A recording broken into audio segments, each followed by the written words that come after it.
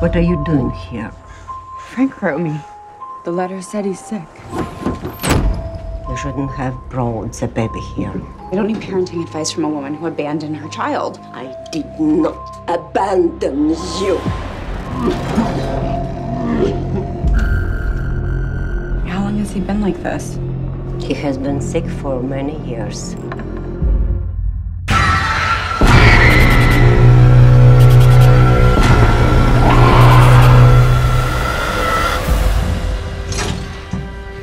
What's going on?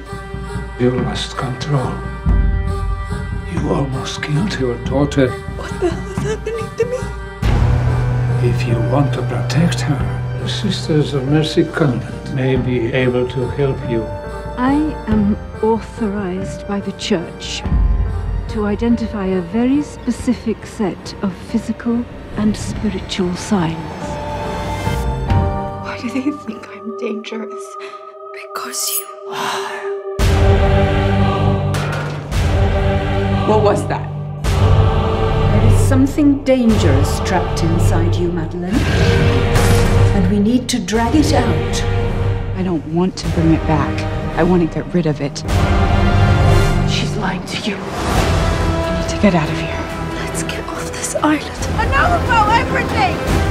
I know what you are. Can't escape, Madeline. There's only one way out. Find what you need if you look deep enough.